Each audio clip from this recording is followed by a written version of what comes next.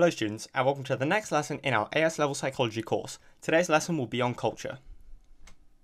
What is culture? Culture is the sum of ideology, behaviours and ideals in the way of life of a society. Bowlby said that culture is a universal behaviour, although we know that many cultures can be very different. There are two main styles of culture, individualistic cultures and collectivist cultures. So what are individualistic cultures? These are cultures where the importance is placed on personal achievement and attainment. People tend to be more selfish and narcissistic because the culture wants people to do well individually.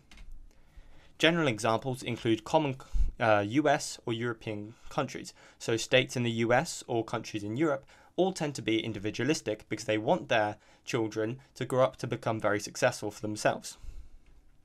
Collectivist cultures.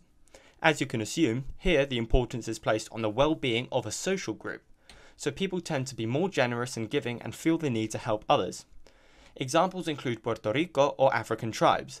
Here people want to help a social group and they tend to stick together as families, here in the houses in these African tribes or in Puerto Rico, they live together as grandparents, grandchildren, cousins, nieces, nephews. They all live in a big family together. And they put the importance on people becoming a very important member of that social group. If you can be one of the family members that provides the food to the social group, that's pretty much what they aim to be. So, how does this affect the long term goals of child rearing? Individualistic cultures will emphasize the importance of independence on the children. For example, families in the USA encourage the children to go to summer school so that they become more intelligent and get into better schools and maybe make more money when they're older. Collectivist cultures tend to want their children to become important members of their social group.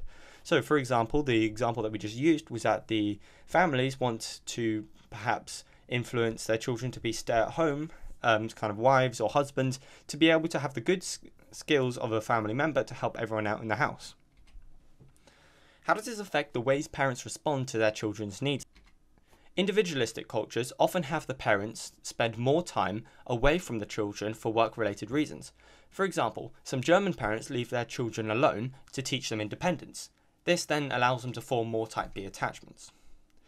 Collectivist cultures spend far more time with their children to cater for their needs. For example, the Dogon women in Mali keep their children with them at all time, However, this makes them form type C attachments later in life. How relationships are valued in these cultures. Relationships are, are measured differently worldwide. The Efe people in Zambia spend up to 60% of their time with their other females after birth, so they spend more time away from mothers, but more time with other females in the tribe. The attachments they form with the mother is just as strong as that of individualistic cultures, so maybe there's not that much difference with how relationships are formed worldwide. Here are some questions on culture.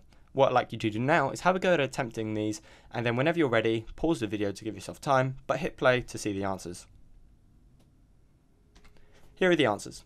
If you've got all of these right, congratulations, I'd advise you to move on to the next video, which will be on cultural variations in attachment.